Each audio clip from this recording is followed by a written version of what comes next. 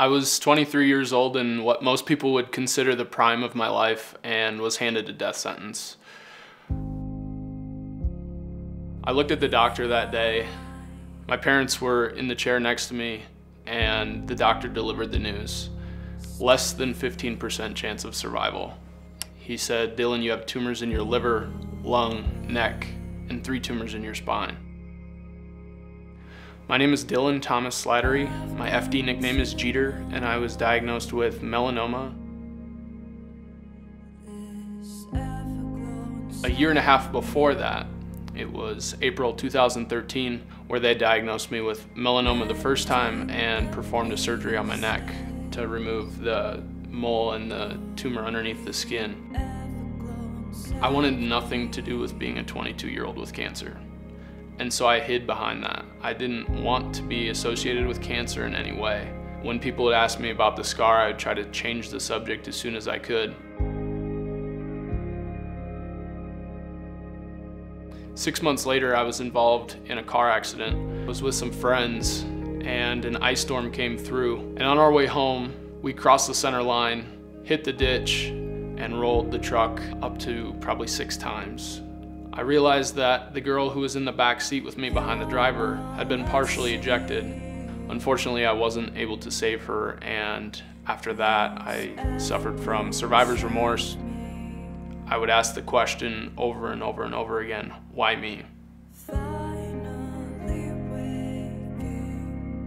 I did anything I could to feel good in the moment. And that continued through the experimental treatment. During that time, I would spend the week in the ICU However, I still didn't want to be that 23 year old with cancer. And so I still spent my weekends in the bars with my friends trying to be a normal 23 year old and continued for months when I would self medicate with drugs, with alcohol, anything I could use to escape from reality.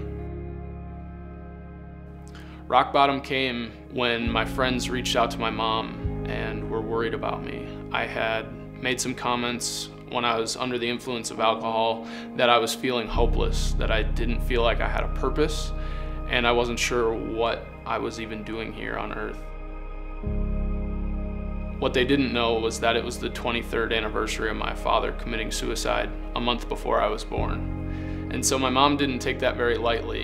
And I woke up the next morning with her at my bedside asking me, Dylan, why aren't you in class? What are you doing?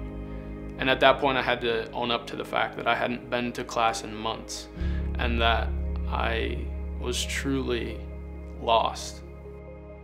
That's when I discovered First Descents and this idea of outliving it came to the forefront. I did my FD1 program in Hood River, Oregon in June of 2018. The impact that First Descents has had on my life is just incredible. Whether it's with the community that they surround you with or the guides that are teaching you how to maneuver down the river, they're there for you every step of the way.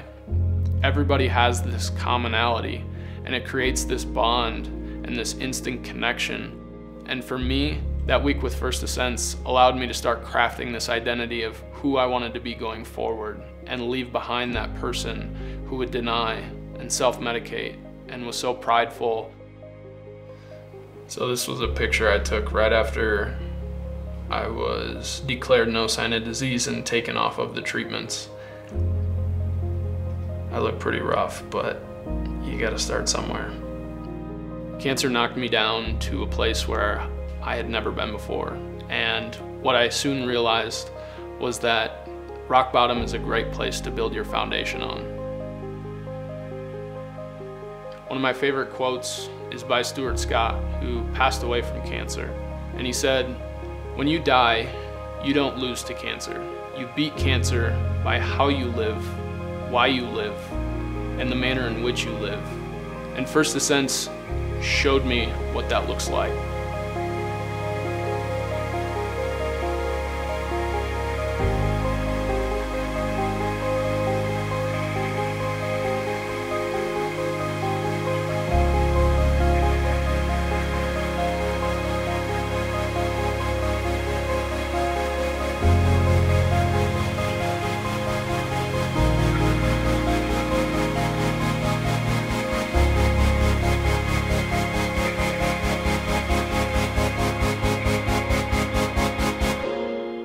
Having that support is it's hard to describe.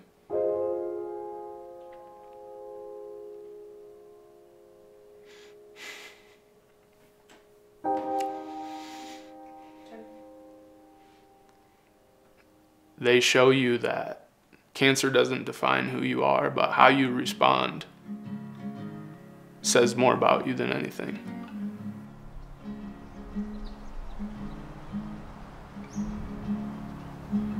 Never expected to live very long.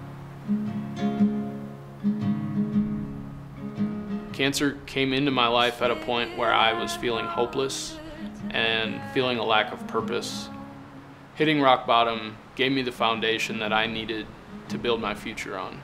And First Descents showed me how to live my life each and every day to the fullest, reconnecting with why I live and showing me how I can live in a way that takes out living it to the fullest.